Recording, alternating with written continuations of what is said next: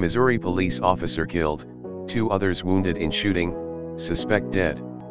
A Missouri police officer was killed and two other officers were wounded Tuesday night while responding to a 911 call after a shooter opened fire from inside a home leaving more than 18 officers to have died in the line of the duty since the start 2018. Clinton officer Christopher Ryan Morton, 30, was shot and killed when he and two other officers responded to a 911 call at a home located 75 miles outside of Kansas City, Missouri State Highway Patrol said. SGT. Bill Lowe said early Wednesday that the three officers responded to a call where two women were heard screaming in the background late Tuesday night.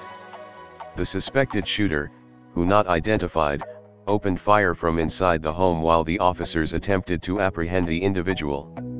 Morton was fatally shot, while the two other officers, who were not identified, were wounded and taken to the hospital. It's a small department, Lowe said. It's small enough that you know each individual officer and the community knows each individual officer, and it's hard to put into words when you're talking about an agency of this size, a community of this size where something tragic like this happened just seven months ago. It's unclear how the suspect died. The women in the house at the time were not injured.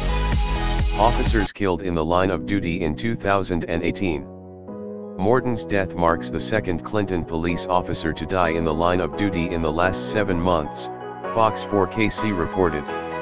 Morton had been with the Clinton Police Department for three to four years.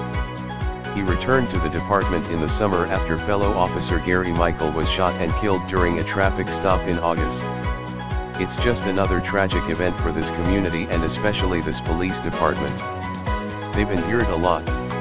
They're going to endure more, Lowe told Fox 4KC. At least 18 officers across the United States have died while on duty this year, with at least 14 of the deaths were caused by gunfire.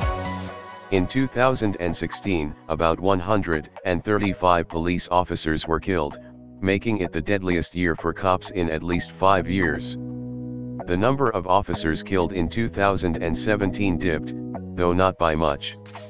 The Officer Down Memorial page has the number of officers killed in 2018 at least 25.